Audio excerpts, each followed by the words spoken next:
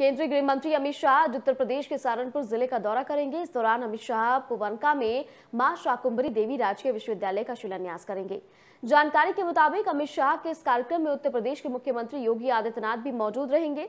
साथ ही उप मुख्यमंत्री दिनेश शर्मा भी शामिल होंगे। कार्यक्रम स्थल पर दोपहर करीब एक बजे सभी मंत्री पहुँचेंगे, जिसके बाद ढाई बजे पुवरका में माँ शाकुंभरी देवी राजकीय विश्वविद्यालय का शिलान्यास होगा। वहीं अमित शाह इसके बाद जनसभा को भी संबोधित करेंगे।